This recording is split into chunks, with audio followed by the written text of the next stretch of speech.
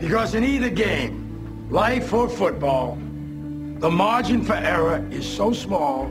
I mean, one half a step too late or too early, and you don't quite make it. One half second too slow, too fast, you don't quite catch it. The inches we need are everywhere around us. Hell yeah. They're in every break of the game, every minute, every second. Leg out.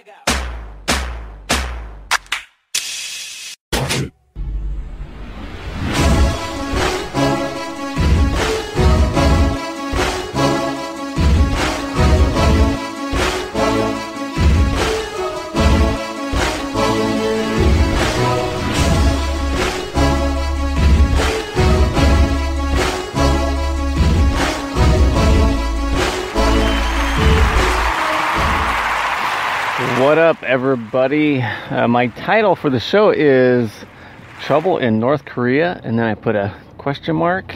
Shocking. Uh, it's a good thing I was sitting down when I heard this. You know, um, the the the thing I'm always curious of is how are things going to play out according to your predictions? And I always predict who's going to win an election, and I am never right. I I've lost so many bets on uh, you know, who's going to be president. I, this time, I'm like, you know, Hillary's going to win. She's got it, lock, stock, and barrel. Lost. I remember uh, George Bush. I thought, I thought, oh gosh, he's not going to win. You know, it ain't going to happen. And lo and behold, he wins. Um, and uh, I just cannot get it right. So it's it you're right about the facts a lot of times, but some of these outcomes, who knows? It's just like the Super Bowl, you know. Good luck predicting it, uh, especially as of late. Um, and I try to think about, okay, how am I going to predict what's going to happen? Let me look into my crystal ball with North Korea and I wonder if, if, with all of the the disdain for Trump, uh, a lot of people have a, a, little bit of problems with him. Some people have a huge problem with him. Problem with him. Some people uh, hooked on phonics didn't work for them, like me, and so I'm stumbling over my words. And I think if you could get to where you're balanced uh, on, with your opinion about him, you'll have a clear outcome of, of what's going to happen and I tend to think that I I have a lot of problems with them. I've had problems with them, but I've had problems with George Bush. I've had problems with Obama. I have had problems with everybody. So I tend to put the problems with the person aside as much as I can. And when I when I debate people um, or talk to them, I say just pretend like he's a city manager.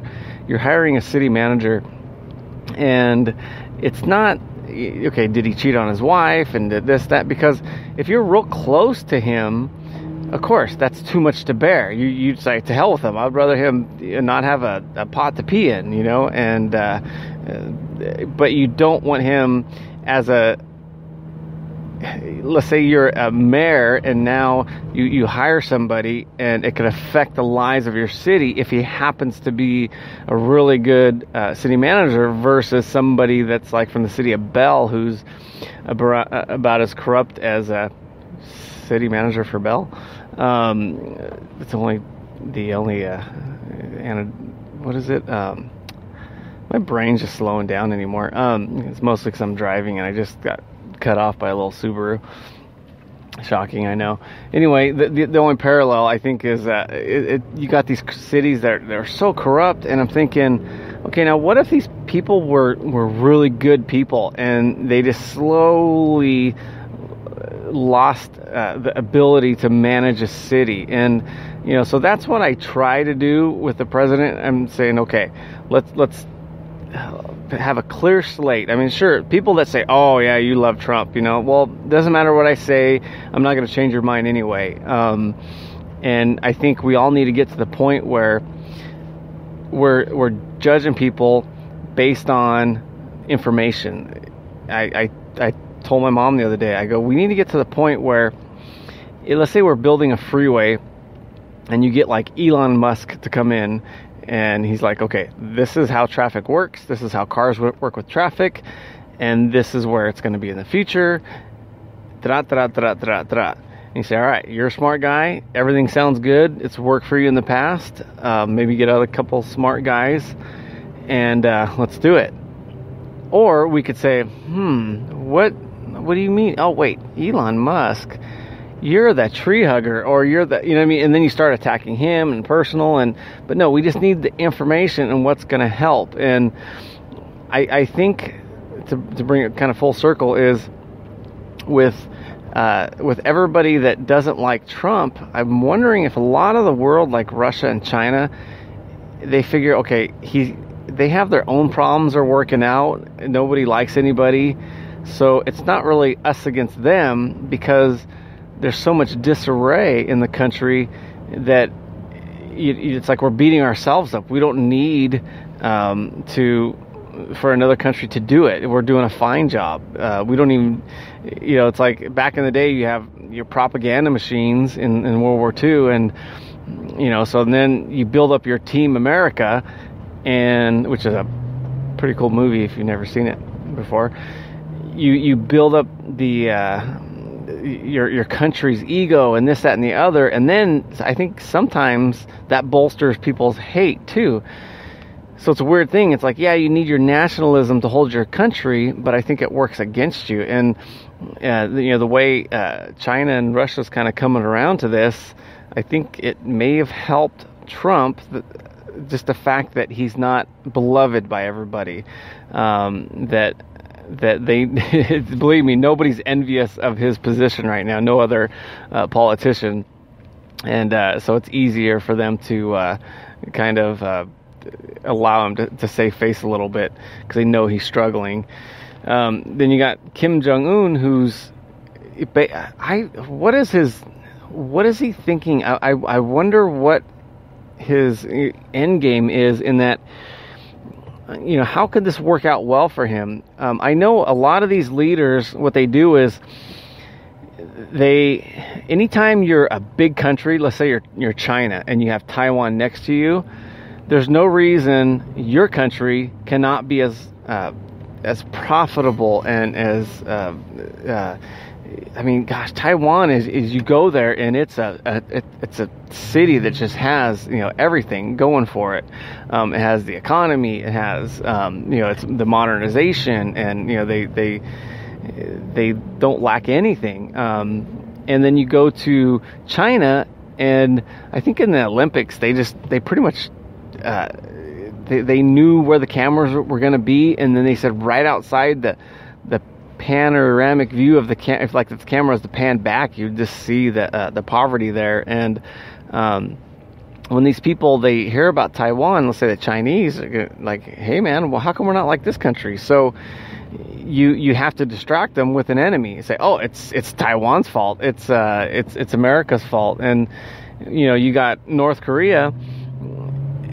Their army I think it, it's so um, malnutritioned that they had to lower the um, the height to get in the army um, the restriction because it used to be you had to be I don't know what it was four foot two or whatever and or four foot four and then they had to lower it to four foot two um, just because they, they didn't have any tall people anymore. Just the malnutrition was affecting the generations like that um, and uh, uh, you know it, it does trickle down and uh, so you got people starving. I remember that that movie um, is the comedy movie. Uh, I forget what it was, but um, where they go there and and they uh, they go to North Korea. They're trying to assassinate um, Kim Jong Un or Il. I don't remember when the movie took place, but and you had these grocery stores, and then they looked in the grocery stores, and everything was plastic. And I think a lot of that is true. Um, they try to prop it up for everybody, and you know these people are like wait a minute we're we're in line for food and and we don't have health care and you know here South Korea they're shipping out Kia cars and um, making computers. I think Samsung's a South Korean company and um, so before these people turn on uh, the leader and and pretty much just have a coup and did what they did to Gaddafi um, they they are distracted by war. We need America. It's America's fault that we're hurting because they take the world's resources. Everybody's like, yeah, yeah, and then they start their nationalism. They have to do it. And and I think when things are that bad, and you know he's living large, and and he has his dad's RX seven collection that he has to um, keep up. I'm sure it takes a lot of work. The son, I'm sure he has to polish all the cars and keep all the batteries charged. Um, and then everybody uh, is looking at him, and he, he has to do something. So just, that's the only thing I could think of is okay, let's start a war because no nobody's gonna America's not gonna bomb us, um, right? And you know he may uh, he may have to go through with this, and he may have to suffer the consequences. I think I think if he does uh, launch those ICBMs just off the coast of Guam, uh, you know he will have an interesting uh, headline the next day. Um, in that uh, problem solved. I, I, think we will go after every nuclear uh, facility they have, the, the centrifuges and the, and the, the ICBMs, uh, the, the, launch sites, and um, and it'll be easy for us because it's a it's a, a, a target, it's a military target. They they struck first. It'll it'll probably put them back in the Stone Age, and you know obviously we can't use a nuclear. Uh, option, nor would, would I, I, think that would be a whole. Gosh, man, you talk about um, the fallout. Uh, no pun intended, but you you border Russia um, and China, you know, North Korea, so you can't you can't mess with the atmosphere, um, you know, and then plus the, the, millions of innocent people that would be affected in one way or another. But I think if we just did that, those Moab bombs, mother of all bombs, um, on these airfields, uh, I think that's why we uh, we dropped one. Just it was for North Korea to say, all right, you want to really keep testing your nuclear um, arsenal. This bomb is about the size of your airfield um, that we just did uh, to kill probably two ISIS members, um, and go ahead and size it up. And and I I think that's that's where we're at. You know, we're gonna have to do something, but I don't it, it, does show our resolve to, for other countries. Um, you know, if they're thinking, okay, what's going on over there? Is America to pull the trigger? Um, you know, I, I think if we just go in and bomb military targets, I think nobody's going to get too terribly upset, especially if they strike first.